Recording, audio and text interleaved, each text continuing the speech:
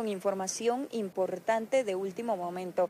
Y es que queremos recordarles que el pasado viernes eh, les trasladamos la información acerca de la desaparición de dos personas, quienes corresponden al nombre de Marvin Alexander Sagastume García y Elmer Alexander Cruz Reyes, de 13 años. Estas personas se dispusieron el pasado 7 de noviembre a salir al sector de la Sierra de las Minas para cazar. Sin embargo, desde esta fecha, familiares ya no supieron del paradero de ambas personas.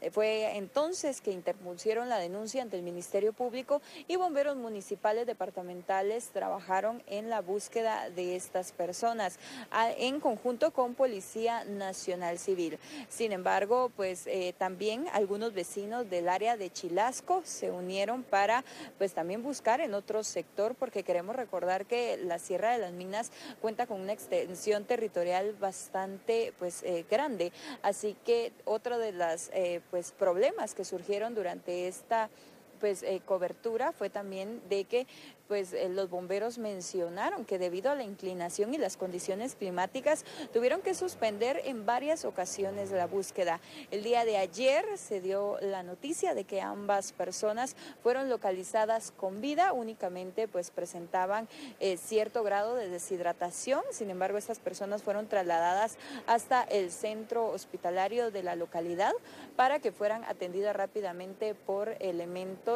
eh, de pues salud. Con pues la localización de estas personas que desde el pasado 7 de noviembre pasaron más de ocho días desaparecidos en la Sierra de las Minas. Sin embargo, ambos fueron encontrados sanos y salvos.